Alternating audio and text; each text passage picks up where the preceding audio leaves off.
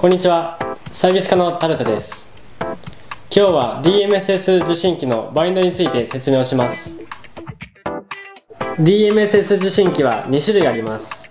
RG1131B、RG831B などのバインドプラグを使うタイプと RG411B、RG611B などのイージーバインドシステムを搭載したタイプです。バインドプラグを使用する受信機の場合まずリモートアンテナを取り付けます。次にバッテリー端子にバインドプラグを取り付けます。受信機の電源を空きチャンネルに取り付けます。受信機の LED は速い点滅。リモートアンテナは2回点滅になります。以上で受信機側の準備ができました。エンターキーを押しながらスイッチを入れシステムリストを呼び出します。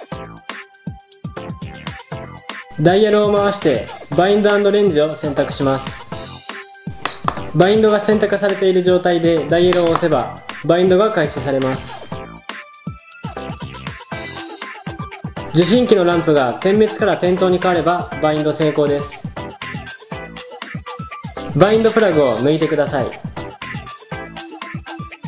エンターを2回押して初期画面に戻して終了です。PCM12X の場合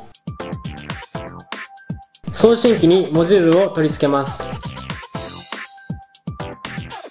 エンターキーを押しながらスイッチを入れシステムモードリストを呼び出します。ダイヤルを回してモジュレートを選択しモジュレーションを BPM にします。エンターを押して初期画面に戻ります。そして一度電源を切ります。再び電源を入れます。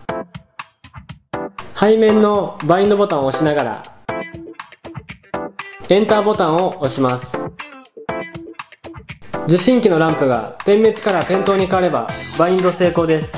バインドボタンから手を離してください。バインドプラグを抜いて終了です。